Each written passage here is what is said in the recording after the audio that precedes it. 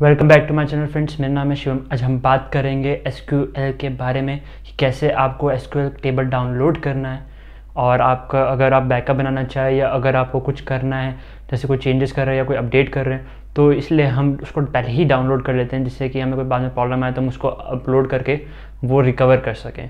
तो आज देखते हैं कि कैसे आपको डाउनलोड करनी है अपनी S file let's move to the screen आपको अपना पी में एडमिन ओपन करना है, जैसे मैंने अपना लॉगिन कर लिया।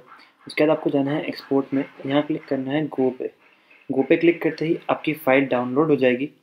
ठीक है, जो भी आपको फ़ाइल डाउनलोड है, जो भी आपके डेटाबेस बने हुए हैं, वो यहाँ से डाउनलोड हो जाएँगे।